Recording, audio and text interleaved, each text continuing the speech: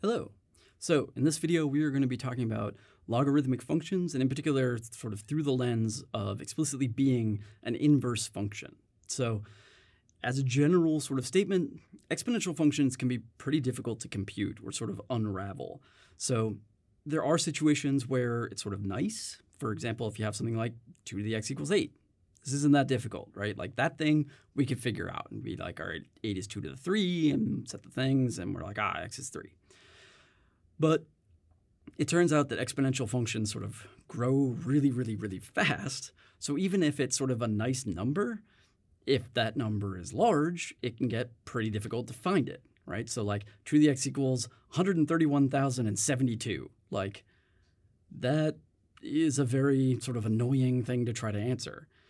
But it turns out it doesn't even have to be hard because it's large. It can be hard because it's sort of just not nice. So for example, if we look at 2 to the x equals 7, right? 2 to the x equals 8, great. 2 to the x equals 7, not great.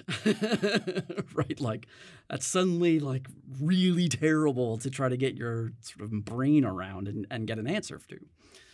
So enter the logarithm. So the logarithm was literally invented for this reason, to try to undo these exponential situations and try to get some representative that tells you what that number should be. So a logarithm with base b, so this is typically written as log base b, this is the inverse of applying an exponent to b, which we sort of introduced when we introduced you know, the actual definition of a logarithm.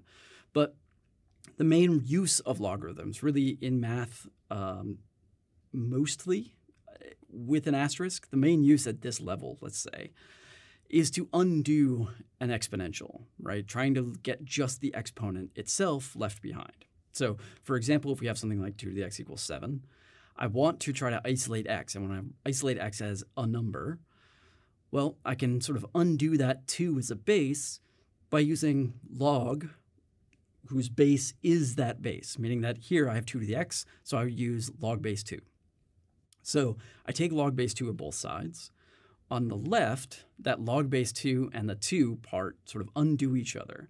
And the result is just what the exponent was on that 2, right? In this case, it's just x. On the right, it just sort of is what it is. Log base 2 of 7, there's sort of not a nice way to represent that. Okay? So sort of similarly, this sort of thing can go in both directions. It's much less common to run into like a log base 3 of x situation. Like usually we're undoing exponents and that's why we sort of generate the log, but sometimes we have stuff in a log, we want to get rid of it. The way we do that is we use the same base for the logs. This is log base 3, right? So I have log base 3, so I'm using 3 as a base on both sides. So we say that's exponentiating, or we exponentiate with base 3 on both sides.